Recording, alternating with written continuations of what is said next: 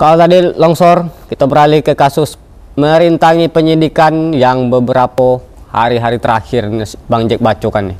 Sidang kasus dugaan merintangi penyidikan oleh Kejari Tanjab Tim dalam kasus korupsi KPU Tanjab Timur atas terdakwa Tengku Ardiansyah menjalani sidang dengan agenda tuntutan dari jaksa penuntut umum di persidangan tipikor Pengadilan Negeri Jambi.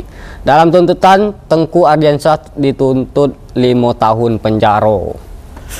Lima tahun penjara cukup lama, lor.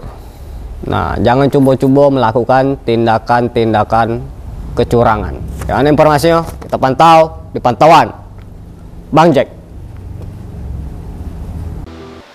Tengku Ardiansyah terdakwa kasus dugaan merintangi penyidikan Kejari Tanjab Tim dalam kasus korupsi KPU Tanjab Timur menjalani sidang dengan agenda tuntutan pada hari Senin 20 Juni 2022 di persidangan Tipikor Pengadilan Negeri Jambi. Dalam persidangan yang diketuai Majelis Hakim Yandri Roni, Jaksa Penuntut Umum Kejari Tanjung Jabung Timur Ali Nur Hidayatullah membacakan tuntutan terhadap terdakwa Tengku Ardiansyah dalam tuntutan, Tengku Ardiansyah dituntut oleh jaksa selama lima tahun penjara dan denda 300 juta rupiah subsadar 4 bulan kurungan penjara.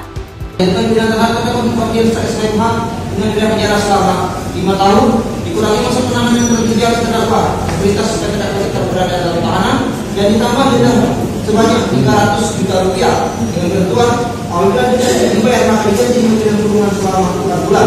Dalam dakwaan, Tengku didakwa sebagaimana diatur dan diancam pidana dalam pasal 21 Undang-Undang Nomor 31 Tahun 1999 tentang pemberantasan tindak pidana korupsi sebagaimana telah diubah dengan Undang-Undang Nomor 20 Tahun 2001 tentang perubahan atas Undang-Undang Nomor 31 Tahun 1999 tentang pemberantasan tindak pidana korupsi.